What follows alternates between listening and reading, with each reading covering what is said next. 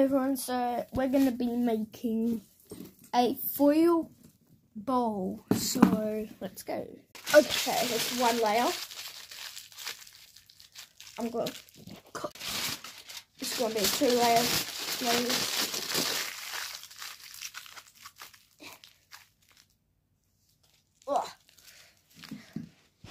So here it is.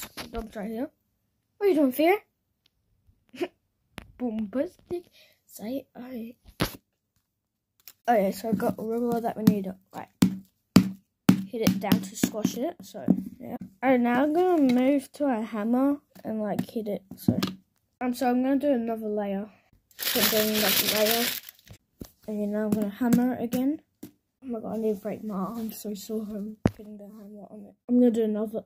I'm gonna do another layer. I think I need another layer as well. Okay, hold it. Okay, this is part